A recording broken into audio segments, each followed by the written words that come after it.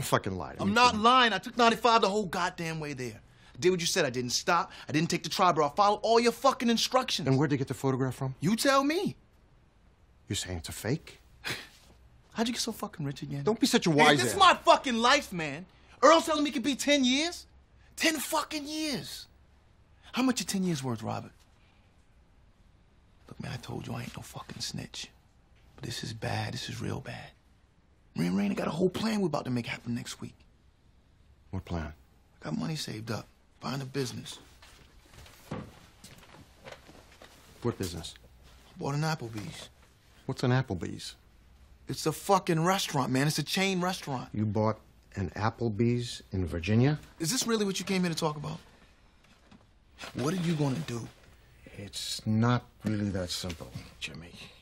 I'm in a situation now. What situation? I told you. Right now, if I were to speak, a lot of people would get hurt. Jobs, families, a lot of innocent people. Do you think you can understand Yeah, that? but what about me? What about my situation? And they showed me the pictures, man, and that's that's fucked up what you did. And I, I know all the people counting on you or whatever, but you told me Earl was gonna make this right. Robert, you know I care about you and all the things you did for us and, and for my father. But Earl said they offered me a deal. No charges at all. I walk away.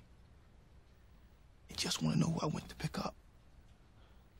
Why you put me in this situation, man? Why you put me in this position? Can you just hang tight? Can you do it? Just a little longer. All right.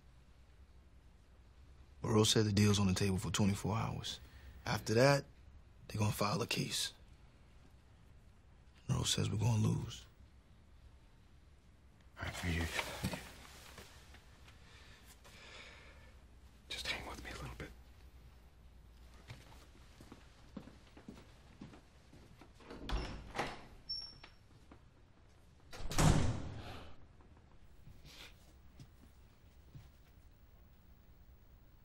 You gotta give him up.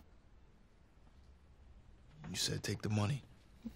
That was to keep quiet, not to go away. What's he offering you now? What can he offer me?